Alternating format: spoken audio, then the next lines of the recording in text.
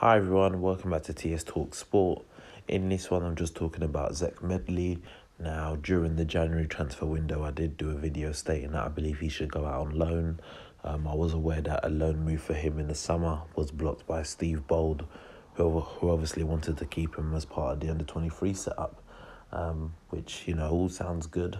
But, you know, as a player, as a professional, and as an individual, um, you know, for me, he has to do what's best for himself, and I think that by not going out on loan at all this season, um, he's missed the opportunity for potential um, development.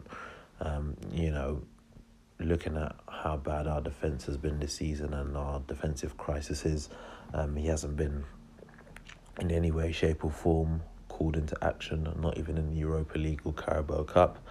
Um, you know, looking at the centre halves we have available right now, you know, we've got um, Luiz, Sokratis, Mustafi, um, Pablo Marí, who we've just brought in, um, also Rob Holding, who barely can get game time himself. So you know, I don't see him staying as a as a potential first team opportunity. It's just like he's he stayed for comfort reasons.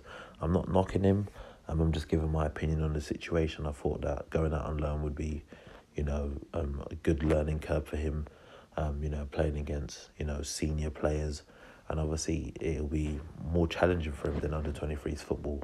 And like I mentioned, the, the way that we've had um, defensive crises, um, he's the sort of player that I thought, you know, would want to thrive on that and, you know, potentially break into the first team. And um, personally, I don't think playing under 23s football to the end of the season is going to benefit him in doing so.